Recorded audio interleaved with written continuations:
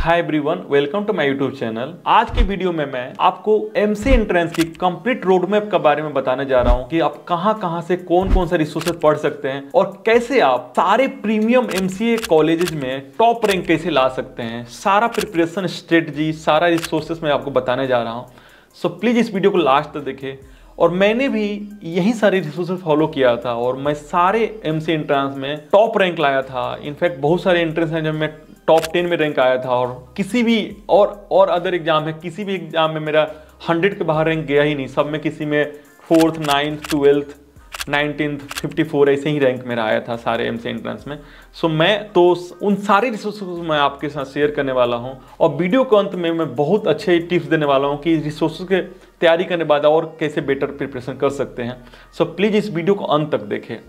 और एक और चीज़ मैं बताना चाहूँगा कि अगर आप एम सी प्रिपरेशन की तैयारी कर रहे हैं या फ्यूचर में करने वाले हैं तो प्लीज़ मेरे चैनल को सब्सक्राइब करें और इस चैनल से जुड़े रहें। बहुत सारे एक्सक्लूसिव कंटेंट में एम सी प्रिपरेशन से रिलेटेड मैं लाने वाला हूँ इस चैनल पे। सो so, प्लीज़ मेरे चैनल को सब्सक्राइब करें। तो so, चलिए कंटिन्यू करते हैं एम सी एंट्रेंस प्रिपरेशन का रोड मैप तो सबसे पहले जानते हैं कि एम सी एंट्रेंस का सिलेबस क्या है कहाँ कहाँ से क्वेश्चन पूछे जाते हैं। एम सी एंट्रेंस के लिए जो आपका सिलेबस है जो क्वेश्चन पूछे जाते हैं वो मोस्टली पाँच सब्जेक्ट से क्वेश्चन पूछे जाते हैं जिसमें फ़र्स्ट आता है आपका मैथमेटिक्स जो सबसे ज़्यादा इंपॉर्टेंट है। सेकेंड है आपका क्वान्टिटिव एप्टीट्यूड थर्ड है आपका रीजनिंग फोर्थ है आपका इंग्लिश एंड फिफ्थ है आपका कंप्यूटर फंडामेंटल अब जानते हैं कि ईच एंड एवरी सब्जेक्ट का आप कौन कौन सा रिसोर्स रिफर कर सकते हैं और कैसे आप बेटर प्रिपरेशन कर सकते हैं ईच एंड एवरी सब्जेक्ट का. तो आप थोड़ा सा भी टेंशन नहीं ले, जो भी मैं सब्जेक्ट जो भी मैं बुक्स बताने वाला हूँ जो भी रिसोर्सेज मैं बताने वाला हूँ, सारे का लिंक मैं वीडियो के डिस्क्रिप्शन में डाल दूँगा, जहाँ से आप जाकर बाय कर सकते हैं सारे बुक तो प्लीज़ आप टेंशन नहीं ले उसके लिए. तो सबसे पहले स्टार्ट करते हैं मैथमेटिक्स तो देखिए मैथमेटिक्स बहुत इंपॉर्टेंट सब्जेक्ट है आपका एम एंट्रेंस के लिए। सो so, इसमें मैथमेटिक्स में जो क्वेश्चन मैथमेटिक्स जो लेवल ऑफ़ मैथमेटिक्स से क्वेश्चन आते हैं वो है आपका मोस्टली प्लस टू लेवल में आपने जो भी मैथ पढ़ा है क्वेश्चन वहीं से पूछे जाते हैं। और जिसके लिए आप रिसोर्स फॉलो कर सकते हैं। सबसे पहले आपका मैं जो भी चीज़ बताऊँगा उसमें मैं एज्यूम करूँगा आपके पास नॉलेज ज़ीरो है कई चीज़ का। तो सबसे पहले तो जो रिसोर्सेज फॉलो कर सकते हैं एम से मैथमेटिक्स के लिए वो है आपका सबसे पहले आपका बेसिक स्ट्रॉन्ग करना पड़ेगा, आपका बेसिक स्ट्रॉन्ग नहीं है, आप, आपने प्लस टू में अच्छे से नहीं पढ़ा है मैथमेटिक्स तो सबसे पहले आपको बेसिक स्ट्रॉन्ग करना बहुत ज़रूरी है। तो सबसे फ़र्स्ट मैथमेटिक्स रिसोर्स आता है, वो है आपका senior secondary school mathematics by R S Aggarwal ये बहुत ही इंपॉर्टेंट बुक है। अगर आपकी बेसिक सही नहीं है तो ये बुक अगर आप, इसमें दो पार्ट आते हैं इलेवंथ और ट्वेल्थ के दो पार्ट आती है। अगर ये आपने कंप्लीट कर लिया तो समझ जाओ कि बेसिक बहुत ज़्यादा स्ट्रॉन्ग हो गया। फिर आप आगे के जो मैं मैथमेटिक्स का बुक बताने जा रहा हूँ, वो फिर आप पढ़ेंगे तो बहुत आपका, आपको हेल्पफुल मिलेगा। सेकंड जो आता है, वो है self scorer mathematics for JEE mains इसमें दो वॉल्यूम आते हैं, ये दोनों वॉल्यूम ये बहुत इंपॉर्टेंट बुक है, इससे बेसिक आपकी और ज़्यादा स्ट्रॉन्ग हो जाएगी। थर्ड में आता है आपका, वो है objective mathematics by R D Sharma इसमें भी दो वॉल्यूम आते हैं, दोनों वॉल्यूम आप कंप्लीट कर लिए तो आप, ये बहुत आपको हेल्पफुल मिलेंगे मैथमेटिक्स का सिलेबस स्ट्रॉन्ग करने में। फोर्थ एंड लास्ट आता है, वो है आपका complete mathematics for JEE mains ये जो है टीएमएच पब्लिकेशन का है बहुत इंपॉर्टेंट बुक है। तो ये चार बुक आपने अगर कर लिया तो सच बताऊँ, आपकी मैथमेटिक्स इतनी स्ट्रांग हो जाएगी। कोई भी एमसी एंट्रेंस में, आप एक भी मैथ का क्वेश्चन मिस नहीं करोगे। आई कैन श्योर डेट और मैं भी यहीं से तैयारी किया था।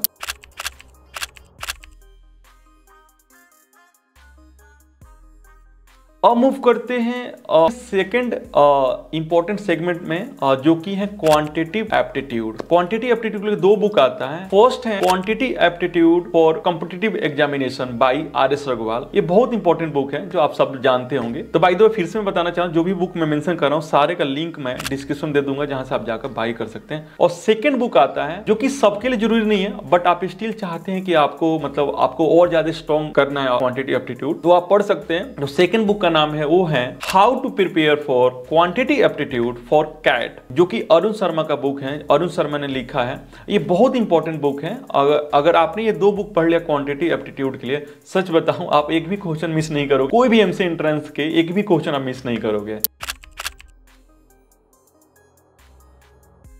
So, अब मूव करते हैं नेक्स्ट सेगमेंट की तरफ़। वो है रीजनिंग रीजनिंग दो टाइप का होता है वर्बल एंड नॉन वर्बल तो दोनों दोनों रीजनिंग से क्वेश्चन आते हैं। तो रीजनिंग के लिए जो रिसोर्सेज फॉलो कर सकते हैं एक ये आपका a modern approach to verbal and non verbal reasoning by R S Aggarwal ये बहुत ही अच्छी बुक है आप सब जानते ही होंगे इसके बारे में। और सेकेंड आता है जो कि मेरा फेवरेट है मैं भी तैयारी किया था दो, मैंने दोनों पढ़ा था तो ये भी आप ले सकते हैं। जो है a new approach to reasoning verbal non verbal and analytics और ये लिखा गया है बी एस वाली के द्वारा और ये अरिहंत पब्लिकेशन की है। ये बहुत इंपॉर्टेंट बुक है तो ये दो अगर आपने पढ़ लिया रीजनिंग के लिए तो आप कोई भी क्वेश्चन मिस नहीं करोगे। आई कैन इंश्योर दैट अब मूव करते हैं अनदर सेगमेंट की तरफ़ जो है इंग्लिश तो इंग्लिश के लिए एक ही बुक काफ़ी है जहाँ से मैंने भी तैयारी किया था, वो है आपका objective general English by R S Agrawal ये बहुत इंपॉर्टेंट बुक है और यहाँ से पढ़ लिया था, आपको कोई और बुक पढ़ने की ज़रूरत नहीं है, ये बहुत अच्छी बुक है।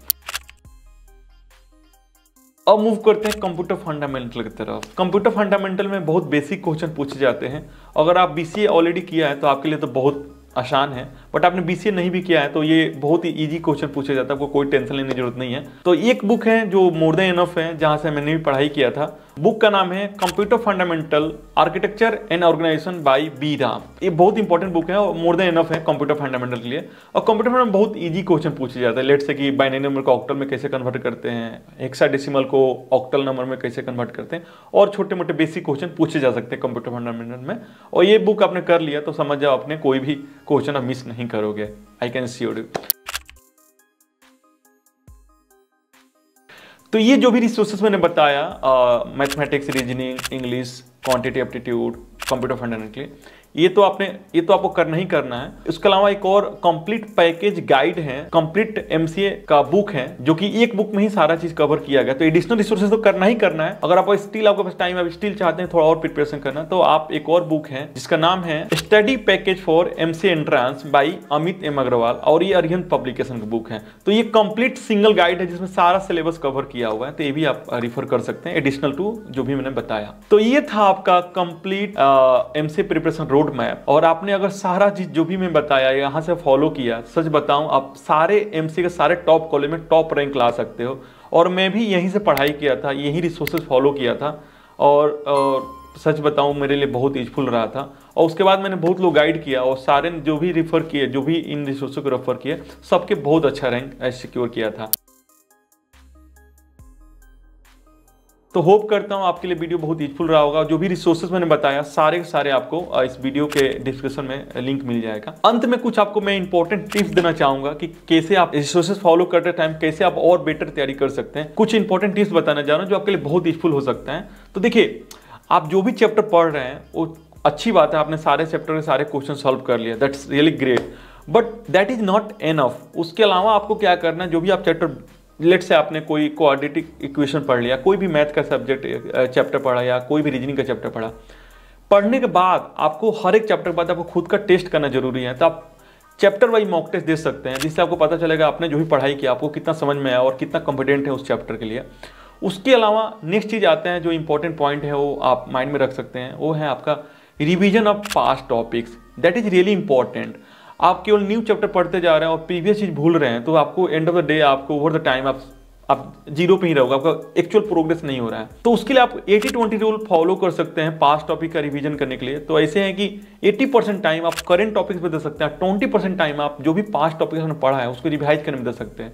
तो लेट से आपने दिन स्टार्ट किया और शुरू के एक दो घंटे आप प्रीवियस टॉपिक्स पर दें और उसके बाद न्यू चैप्टर पढ़े न्यू टॉपिक्स पढ़ाई करें आप। नेक्स्ट आता है कि आप एक बार आपने पूरा चीज़ पढ़ लिया, पूरा चीज़, पूरा कंप्लीट होगा पूरा सिलेबस पढ़ लिया आपने तो आप जो भी प्रीवियस ईयर क्वेश्चन है, जो भी जितने सारे एमसीए एंट्रेंस के प्रीवियस ईयर क्वेश्चन है सारे का रिवीजन करे। वो बहुत इंपॉर्टेंट रोल प्ले करेगा, क्योंकि बहुत सारे क्वेश्चन उसमें से प्रीवियस ईयर से भी आते हैं, आपको आ सकते हैं। और आपको प्रीवियस क्वेश्चन रिवाइज करेंगे तो पता चलेगा आप क्या लिमिटेड टाइम है। टू आवर्स या थ्री आवर्स जितना टाइम होता है एग्ज़ाम का, उसमें कितने सारे क्वेश्चन सॉल्व कर सकते, कर पा रहे हैं। उससे आपको रियली पता चलेगा कि क्या, कहाँ लैक करें और क्या क्या हमको इंप्रूव करने की ज़रूरत है। उसके अलावा मैंने तो आई आई टी जे या ट्रिपली का मैथमेटिक्स का मैथ का सारे प्रीवियस ईयर का क्वेश्चन रिवाइज किया था क्योंकि बहुत सारे आई टीज और ए आई ट्रिपल आई के जो भी प्रीवियस ईयर क्वेश्चन होते हैं पूछे जाते हैं। तो जो आप आप भी कर सकते हैं। और लास्ट आता है आपकी एक बार पूरा आपने चैप्टर कंप्लीट कर लिया। फिर आता है आपका कि कितना मॉक टेस्ट दे रहा है। कि mock test is really play the key role आप जितना मॉक टेस्ट देंगे, उतना ही आप परफेक्ट बनते जाएँगे।